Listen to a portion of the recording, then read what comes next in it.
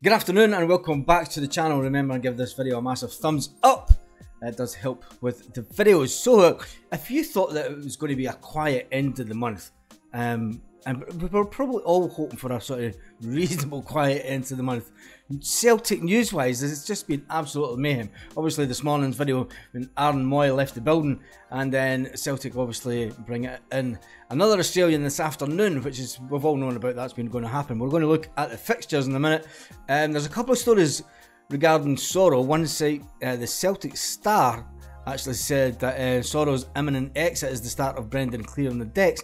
And then there's a site just said just two minutes ago, Celtic blow as 2 million man performs a sudden U-turn on the transfer. Uh, has reportedly performed a U-turn on his potential move to Panathinaikos. Um, we'll keep an eye on that. But Kris Boyd's been talking about Celtic. Kris Boyd always loves talking about Celtic. And he was asked if Michael Beale would have preferred to play against Ange Postecoglou rather than Brendan Rodgers, and he says, of course. It says um, the departure of the Celtic manager is probably the last thing that Beale wanted. He says they were closer to them towards the end of last season. They were closer to beating. Uh, they did beat Ange Postecoglou's team, albeit there was nothing there. He says Kris Boyd, the madman, says there was games beforehand where you felt they were getting closer, but they lost.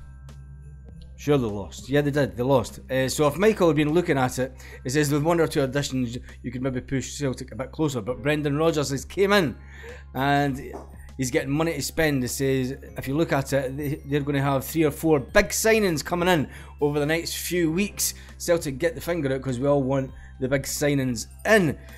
Celtic did bring in a signing. Was it a big signing? Marco Tilio joins from um, Australia uh, as a winger. Was he brought in for the imminent departure of the player that we spoke about last night. The fixtures are in. Let's talk about the fixtures first of all. Obviously, we opened the season at home, and we've obviously got the the, the ones in Japan, uh, which is the 17th and the 22nd of July.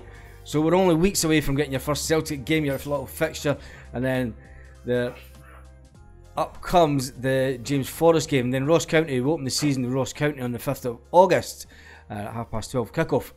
Raise the flag once again. Then we play Aberdeen away, and then we're home at St Johnstone. And then the, the big one, the big test, as they all say, is uh, play Sevco over at Sevco Land. To play Rangers over uh, 12 o'clock kickoff on the Sunday, the 3rd of September. So that'll be a chance to put three points between them and us.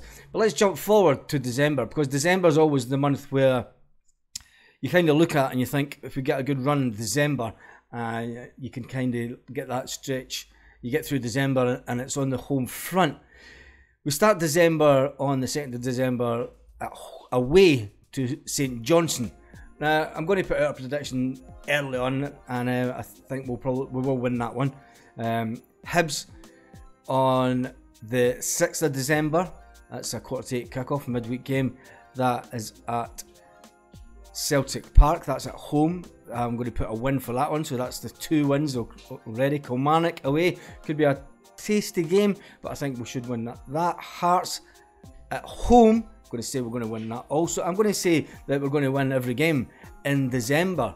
Um, I think we'll go on a run at Livingston at home also on the 23rd of December. And then it brings back the the crazy Dundee. Remember the Dundee riot, as the the press said it. It was nothing. There was nothing in it. Anyway, that's a 7:45 on a Wednesday night up in Dundee, um, an away game. I'm going to say that we'll win that, and then obviously to end end the year, it's uh, Sevco. We play Rangers at home on the 30th of December. The New Year game is actually against St Mirren on Tuesday, the 2nd of January. That's an unusual one to have for the 2nd of January. So uh, tell me what your thoughts are about that. Right, we need to talk about this. This is the real breaking news today.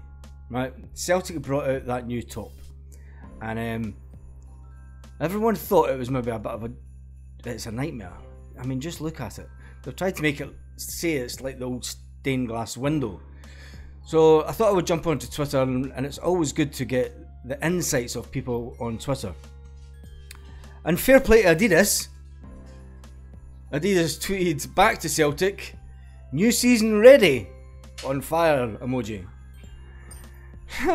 so the first up, Adam says, sack the kit designer, I beg. And then uh, Adi Maguire says, you couldn't have just done this, uh, it sold thousands.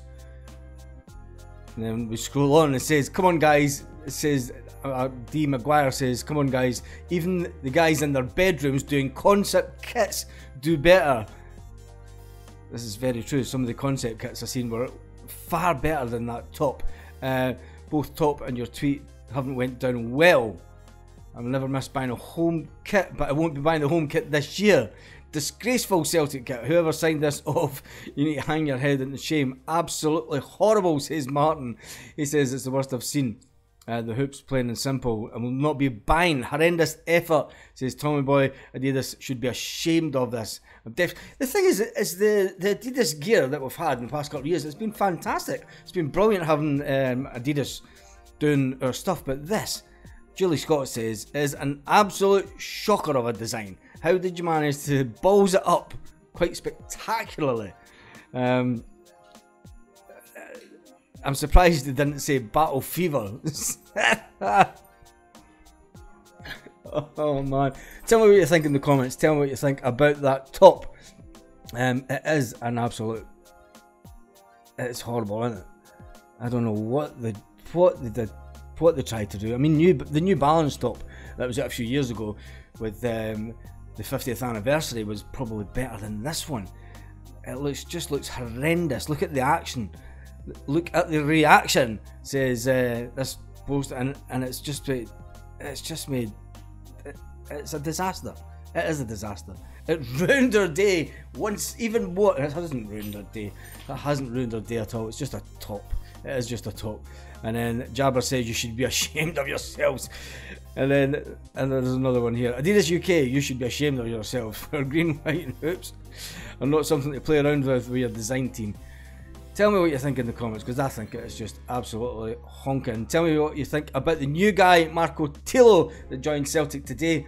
And uh, he got a five year deal. Um, is he a replacement for Jota? I don't want to get into the Jota whole story. I mean, even the madman that said Brendan Who has been getting in on that. And it's just unbelievable to think that Jota might be leaving and going to for that kind of money. Anyway, we spoke about that in this morning's video. Today's video is all about a brand new player and that horrible, horrible top. So just go on, tell me in the comments what you really think of it. Because me, for one, I'm looking at it and I'm thinking, why? Why? Just why? Adidas usually do really cracking gear and they've just, I hope they have the balls to change their mind and they can't bring it on you. When they see the sales are completely failing, Surely they'll change it. Surely. But on that note, Brendan Rodgers is going to get the guys together on Monday. Pre-season will start. The checkbook will be opened, and then is the clear out of the, the clearing of the decks about to take place under Brendan Rodgers, with uh, some staff ready to leave the building. Well, players, not backroom staff, because they're all staying. Um, it's going to be an interesting week next week. Let's just say that. And on that note, have a great day. Celtic fans all around, great evening, sorry. Celtic fans all around the world.